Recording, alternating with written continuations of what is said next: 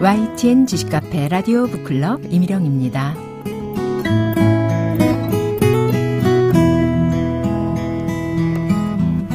오늘은 홍상현의 사진도 예술입니까를 소개합니다.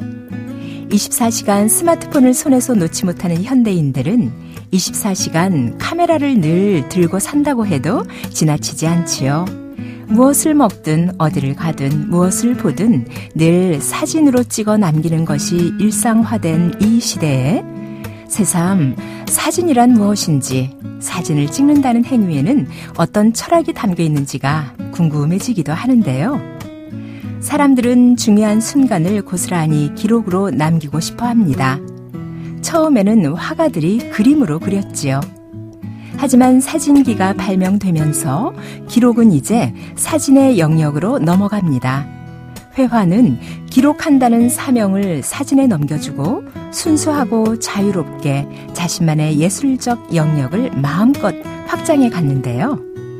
그렇다면 사진은 또 어떤 변화와 진화의 시간들을 거쳐왔을까요? 1826년 프랑스 발명가 니엡스가 최초의 사진술인 엘리오그라피를 만든 이래 사진술은 다양하게 개발, 개량되었고 기술적인 발달을 거듭해 왔는데요.